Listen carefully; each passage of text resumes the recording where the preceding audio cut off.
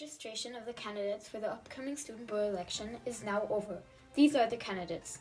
Presidential candidates, Hannel Moon, grade 11, Massimiliano Perioni, grade 11 too.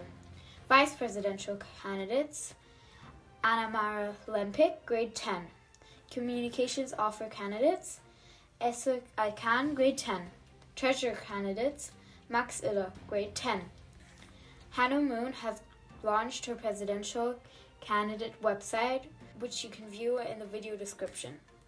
Massimiliano Perioni, Anna Mara Lempic, Essa Khan, Max Illa have joined their bids as the MMAE team.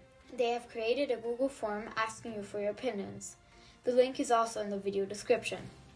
The MMAE team has also created an Instagram account at MMAE team on Instagram. The candidate speeches will take place on the 17th of March. After there will be a voting period of 72 hours. Hello and welcome to Falcon News, always delivering the fastest and best news. Today we will be going through the German Bundesliga soccer table. Who is in the lead right now? Let's take a look. Bayern Munich is leading with 17 wins, 4 draws, and 3 losses, which is pretty good. After them, there's RB Leipzig with 16 wins, 5 draws, and 3 losses, close behind them. And there's also Wolfsburg, still on the Champions League table, and they're having 24 matches played, 12 wins, 9 draws, and 3 losses. Just quick behind that, there's Eintracht Frankfurt with 24 games, 11 wins, 10 draws, and 3 losses. These are the top 4 teams we had. And now we will be going live to our moderator, Nima Konzari, who is in the Bayern München Stadium.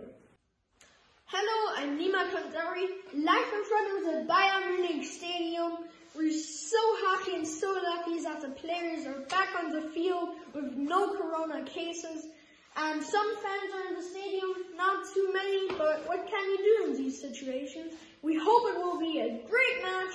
We'll be live on the TV and you can enjoy it. Bayern Munich, if they win this game, they would be in a lead and Werder Bremen, they would be quite down.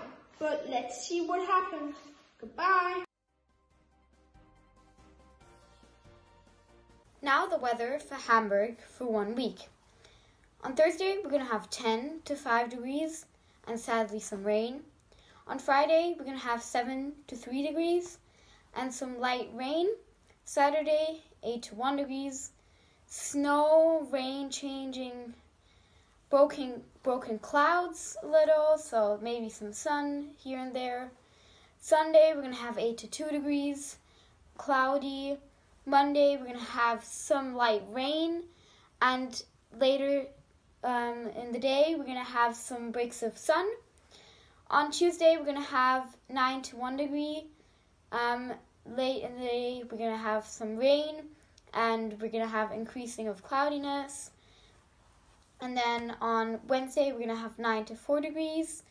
And then we're to have some rain and decreasing cloudiness. And Thursday, we're going to have 6 to 0 degrees and some sun. This was the weather forecast for Hamburg for one week.